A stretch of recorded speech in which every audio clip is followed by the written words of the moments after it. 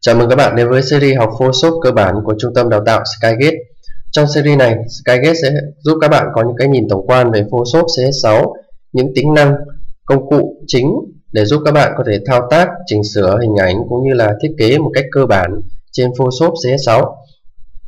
Ở trong bài ngày hôm nay chúng ta sẽ bắt đầu tìm hiểu về giao diện cũng như là các vùng làm việc chính trong Photoshop CS6 thì khi các bạn à, cài đặt và khởi động phần mềm CS6 lên các bạn có thể thấy giao diện của Photoshop CS6 sẽ trông như này. Đây là một màu à, đen xám trông khác rất khác với những phiên bản trước đấy của Photoshop.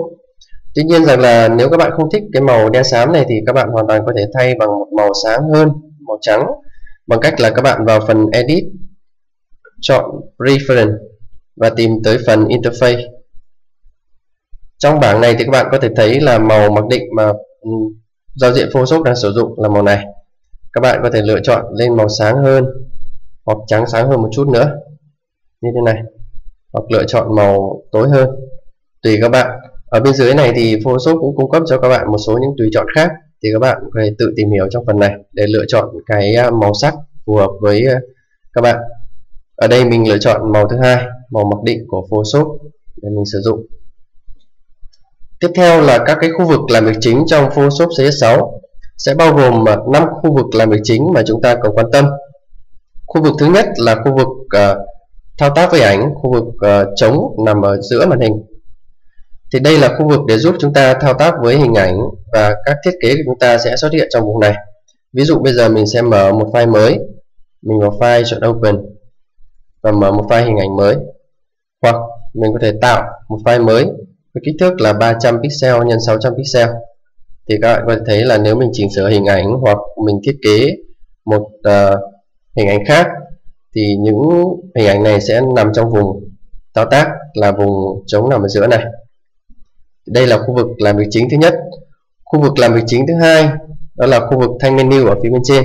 Đây là thanh menu chính bao gồm các phần là file edit image layer type select filter view window và have để giúp chúng ta có những cái lựa chọn tính năng uh, tổng quát ở trong Photoshop.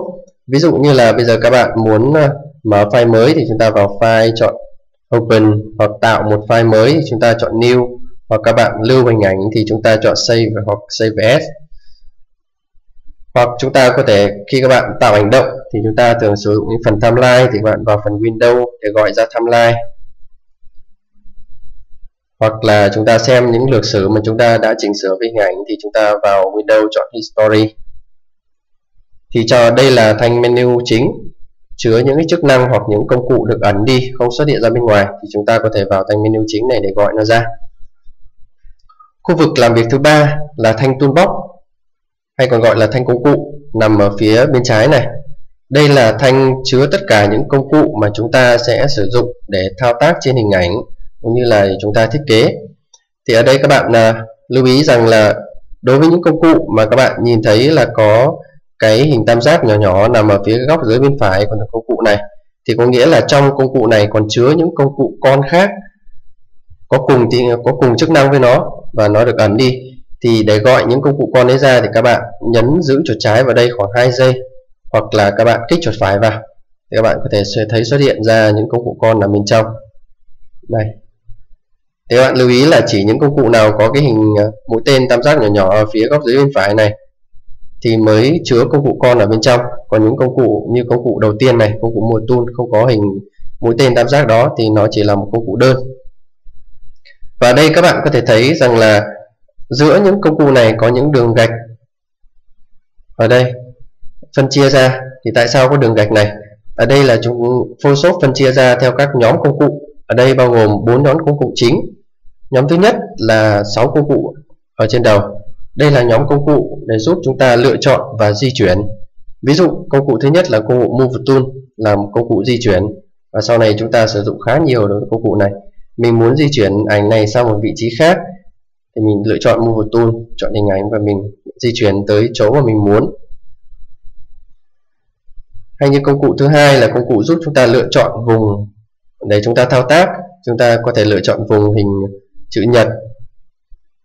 Hình chữ nhật, hình vuông. Hay chúng ta lựa chọn vùng thao tác theo hình elip hoặc hình tròn. Thì đây là nhóm công cụ thứ nhất, bao gồm cả công cụ crop là công cụ để cắt ảnh. Thì tính năng của từng công cụ này mình sẽ giới thiệu với các bạn chi tiết trong từng video. Còn video này mình sẽ hướng dẫn các bạn đi theo từng nhóm công cụ thôi nhóm công cụ thứ hai là nhóm công cụ vẽ và chỉnh sửa ảnh. Ở đây bao gồm các công cụ như là ờ, uh, Patch Tool, Brush Tool hay công cụ Brush Tool đây. Công cụ Clone Stem là những công cụ để giúp chúng ta chỉnh sửa ảnh rất hữu ích. Hay công cụ để xóa ảnh. Eraser Tool. Nhóm công cụ thứ ba là nhóm công cụ để chúng ta thao tác với chữ viết và vector bao gồm các công cụ như type type tool với công cụ pen tool. Type tool là giúp chúng ta viết chữ lên trên à, hình ảnh. Đây. Lựa chọn màu trắng để cho chúng ta dễ nhìn. Đây. Và nhóm công cụ thứ tư là nhóm công cụ tùy chỉnh về màu nền. Ở đây là bao gồm màu foreground và màu background. Các bạn có thể nhìn thấy hai ô nhỏ nhỏ ở đây. Là ô màu nền để chúng ta chỉnh sửa màu nền cho hình ảnh trong các thiết kế của chúng ta. À, mình nói thêm về hai công cụ à, ở bên dưới nhóm công cụ thứ tư này là công cụ hình bàn tay và công cụ hình kính lúp này. Thì công cụ hình bàn tay để giúp chúng ta kéo ảnh. Khi chúng ta khi bạn lựa chọn công cụ này chúng ta có thể kéo hình ảnh để xem các phóng to hơn để xem các khu vực khác nhau của hình ảnh.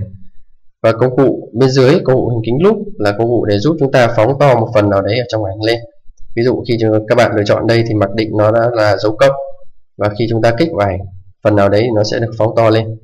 Và để thu nhỏ lại thì chúng ta nhấn phím Alt ở trên bàn phím, nó sẽ biến thành dấu trừ. Và chúng ta thu nhỏ lại hình ảnh. Thì đây là khu vực làm việc thứ ba, khu vực làm việc rất quan trọng đối với công cụ trong Photoshop. Khu vực làm việc thứ tư là thanh tùy chọn. Thanh tùy chọn ở đây nằm ngay dưới bên thanh menu chính và các bạn lưu ý là thanh tùy chọn này nó sẽ biến đổi theo từng công cụ mà chúng ta lựa chọn trong thanh toolbox này. Ví dụ mình lựa chọn công cụ move tool thì ở trên thanh tùy chọn này các bạn có thể thấy các uh, nút như là auto select show transform control này. Rồi mình lựa chọn đến công cụ thứ hai thì các bạn có thể thấy là thanh tùy chọn nó biến đổi theo công cụ này. Công cụ thứ ba thứ tư thứ năm cũng như vậy. Thanh tùy chọn là một thanh để giúp chúng ta thao tác chi tiết hơn đối với công cụ mà chúng ta xử lý. Ví dụ ở đây chúng ta ừ, mình đang lựa chọn công cụ là Quick Selection Tool. Và mình muốn phóng to cái hình dấu cộng này lên thì mình có thể lựa chọn trên thanh tùy chọn để cho kích thước, cái size của nó cao hơn. Thì vòng tròn của mình, các bạn có thể để ý là vòng tròn nó to hơn rồi. Đấy. Thì đây là thanh tùy chọn, giúp chúng ta sẽ thao tác chi tiết hơn đối với từng công cụ mà chúng ta lựa chọn trên thanh toolbox. Đấy là vùng làm việc thứ tư và vùng làm việc thứ năm, các bạn cần lưu ý là vùng phía bên phải này. Đây là vùng chúng ta sẽ thao tác và quản lý các layer ở trong ờ, phần hình ảnh mà chúng ta chỉnh sửa. Thì layer là gì và chức năng của layer như thế nào? Mình sẽ có một video riêng để hướng dẫn các bạn về layer. Còn trong bài này thì các bạn chỉ hiểu nôm na layer, nó là những cái lớp ảnh để giúp chúng ta thao tác trên từng đối tượng trong cái phần ảnh phần thiết kế của chúng ta. Và phần layer này cực quan trọng trong thiết kế của các bạn. Thì ở đây mình uh, cho gọn vào thanh hai cột này cho nó gọn và mở rộng cái vùng thao tác đối với ảnh này ra.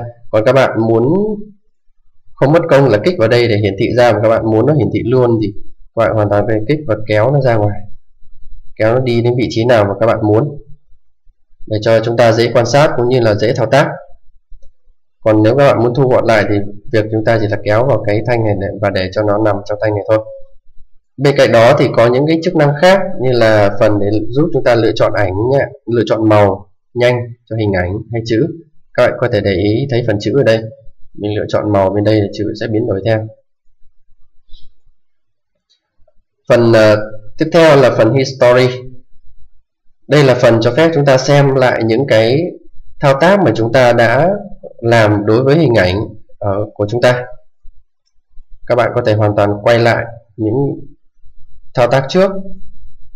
Thao tác cuối cùng đây của mình là mình đã viết chữ lên trên này và đổ màu cho chữ là màu hồng. Bây giờ mình muốn quay lại nguyên bản hình ảnh ban đầu mình mở ra thì mình có thể chọn đây là phiên bản hình ảnh gốc của mình. Chưa hề có một sự chỉnh sửa nào. Thì đấy là giao diện cũng như là năm khu vực làm việc chính trong Photoshop CS6 mà chúng ta cần ờ, lưu ý trước khi chúng ta uh, tiến tới việc học về chức năng của những công cụ cũng như là cách sử dụng uh, Photoshop CS6 trong các bài sau mình sẽ hướng dẫn các bạn chi tiết đối với từng công cụ trên thanh toolbox này và cách chúng ta sẽ mở một file mới tạo một file mới những cái giá trị trên một file mới mà chúng ta mở ra tạo ra thì nó sẽ có ý nghĩa như thế nào. Chúc các bạn thành công.